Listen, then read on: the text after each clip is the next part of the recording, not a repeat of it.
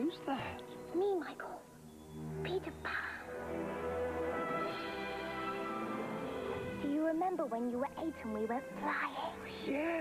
Well, let's fly again. But I can't fly anymore. Well, of course you can fly. It's never too late to fly.